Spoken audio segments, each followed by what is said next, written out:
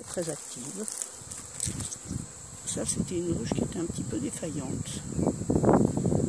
Et euh, je savais pas trop que faire. Puis finalement, là, elle a bien repris. Je lui mis une. Ça a l'air de travailler un max. Personne n'est malade.